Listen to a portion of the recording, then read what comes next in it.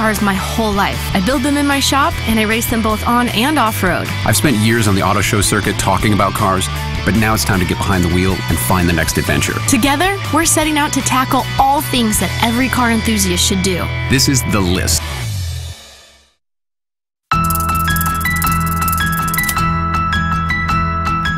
Hi, everybody. Welcome to The List. I'm Patrick McIntyre. And I'm Jesse Combs. Today, we're going to do something a little different than the items that we've checked off the list in the past. Normally, we would show you something that every car enthusiast should do before they die, but today we're going to do something that we hope you never have to do, but if you do, you want to succeed at it. Now, we're going to be using that crane and this car, which you may remember from a few of our past episodes, to see if we have what it takes to escape a car underwater. Now, there's a couple different schools of thought on technique, and we're going to get all the facts and fundamentals and give it a try. Where we're standing here in Southern California at sea level on an average day is we're experiencing about 14.7 psi. 33 feet of water is equivalent to 14.7 psi, and we call that one atmosphere. That car door is about 1,700 square inches. For every foot of water, you're exerting about 850 pounds of pressure on that door. Good luck opening it. Okay, so you said there's two schools of thought here. There are. One is that we're gonna go to the bottom and wait for the car to fill up with water. You're gonna breathe calmly and keep lifting your head higher and higher as the water raises higher and higher. When you finally get that last breath, suck it all in, wait for the car to fill up the rest of the way, open the door, and go for the light.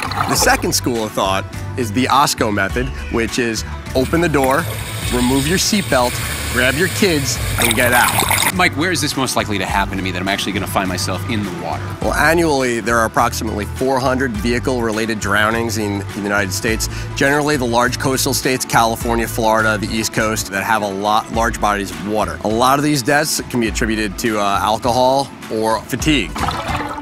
Now, do you want to tell us a little bit about your role and what we need to know to make sure everything goes smoothly? Well, I'm going to be the safety diver, and I'll be riding along with you in the back seat of the car there. But you're going to be breathing on your own. You're going to be doing most of this on your own. Just in case there's an emergency, that's what they brought me in for. What we've got here is a, an aluminum 80 tank. There's 80 cubic feet of air at 3,000 psi. Plenty of air for what we're doing, no problem. Both your air supply for the driver's seat and for me in the back seat are being fed off of this one tank. What I have is the primary regulator for you on a retractor. Now, because it is on a retractor, you might have to cinch down on the mouthpiece a little bit. Go ahead and take a breath from it. the number one thing about dropping the car in the water is is safety. In this case, we had to drain all the fluids out, pressure wash it. Uh, we want to make it nice and clean in there and nice and safe. Uh, so we removed all the things that don't need to be inside the vehicle. And we also put some extra holes in there for drainage.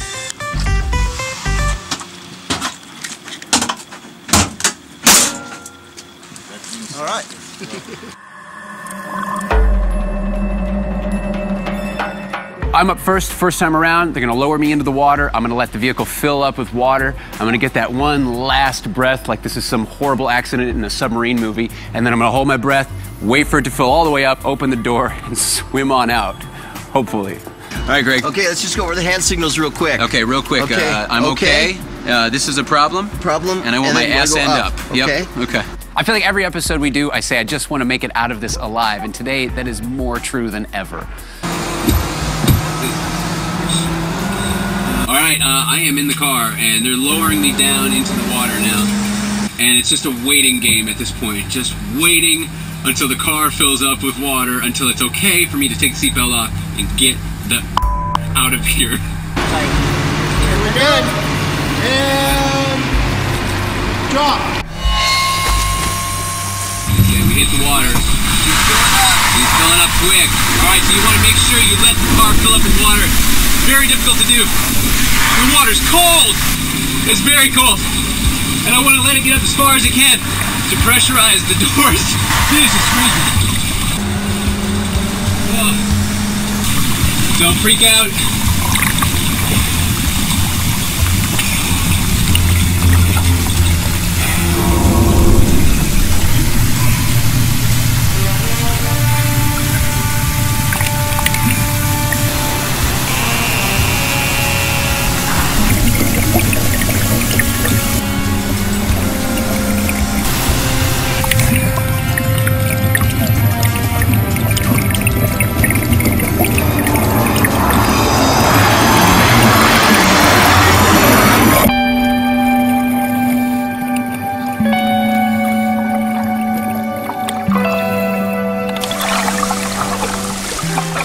That first time when they lower you inside, once that water hits your body, it is a shock. I was not ready for the temperature of that water.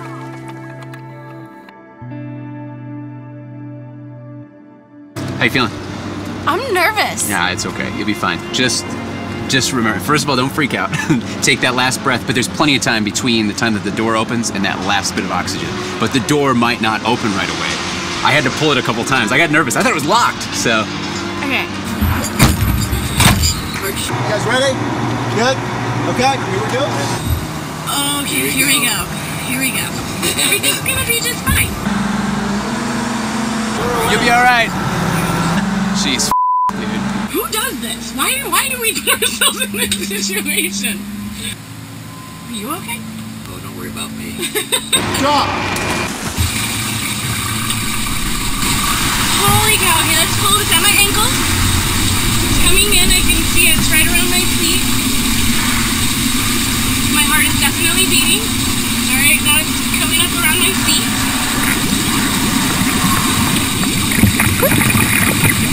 It's cold. My breaths are probably gonna start getting shorter here. The water's higher outside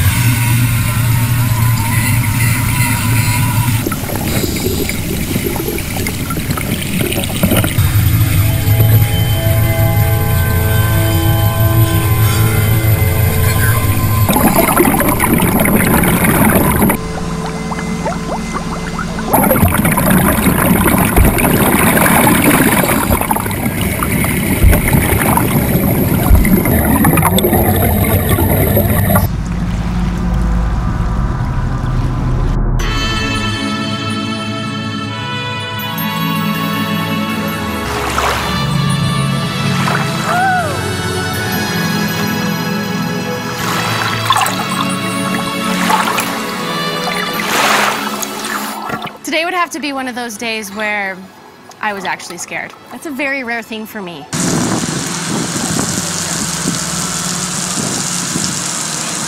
All right, it's time for method number two, which is open the door as soon as I hit the water. The problem with this is, as you go down, there's more water pressure pushing against it, upwards of a thousand pounds. So if I try and eke out, it might get my legs stuck inside there and I might get dragged down with it. See what happens.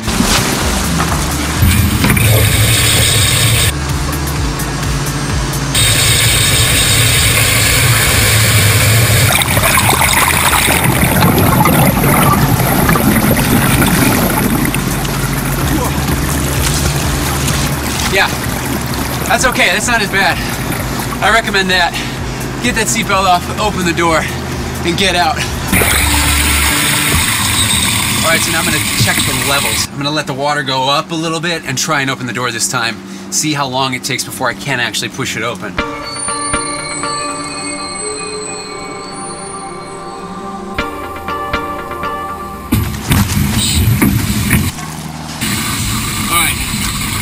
Gonna let the water fill up a little bit, get the seatbelt off. A little further, it's down under my feet. It is cold.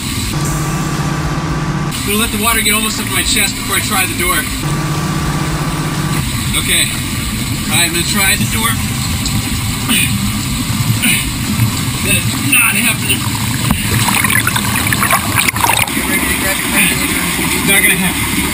You're gonna have to wait. It's not gonna go.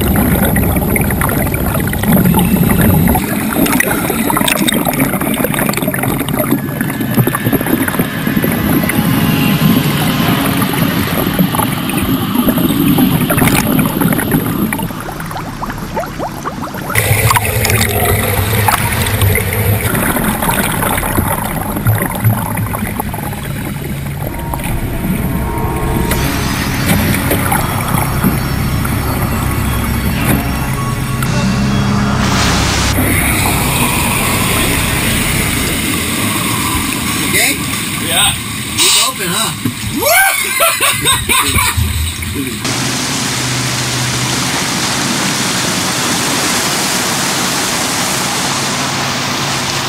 it. Dead. I would have been dead. That uh, That didn't go as smooth that time. There was a lot of struggle. I was braced up against the, the center armrest. I was pushing as hard as I could. I tried to put my foot into it. And then there was that moment of like, it's not happening. It's time to grab that air. And I can't, I just, I, I'm trying to think and put myself in the situation where like, you know, I, I just got in an accident. I'm jarred from that. There's water flush, flushing in. I'm trying to get myself in that headspace of like, you know, not freaking out. But even here in a controlled situation, you still freak out. Now I'm going to get in the car. I'm going to wait for the water to get up to my waist on the inside of the car, try and open the door. Pretty sure it's not going to happen, so I know exactly where that regulator is, just in case.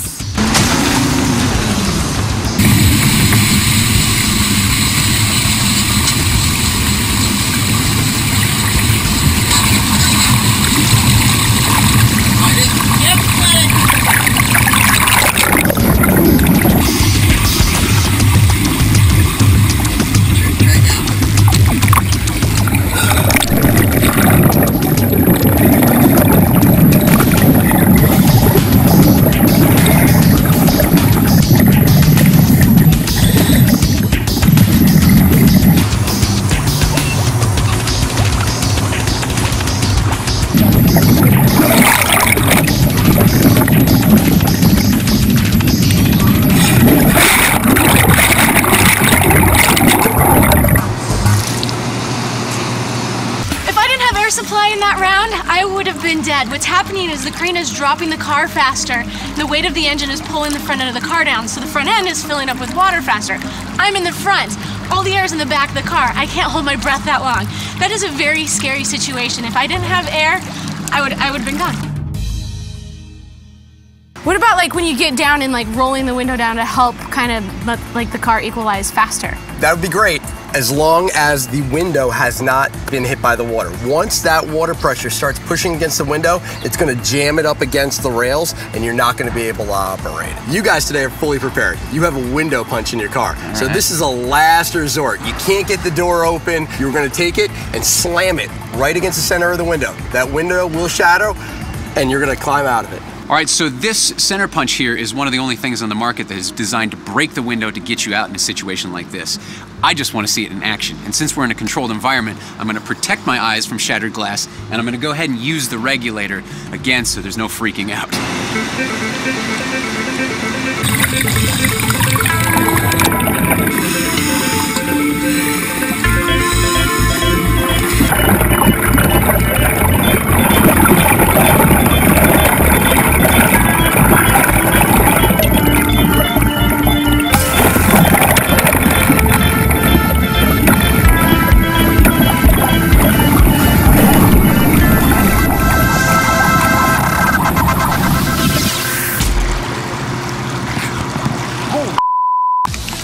I can tell you from experience, it works.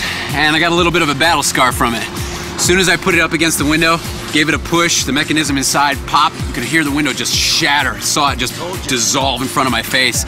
Got a little cut, and then just a lot of water came rushing in. It's intense, but it works. I don't recommend going out the window though.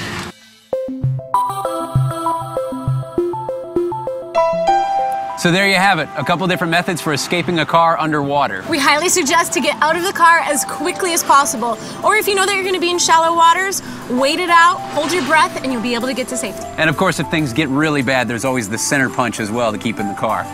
Now that we've officially checked this off our list, let's do some things that people want to do before they die. I have to fully agree with you. Thanks for watching the list. We'll see you guys next time.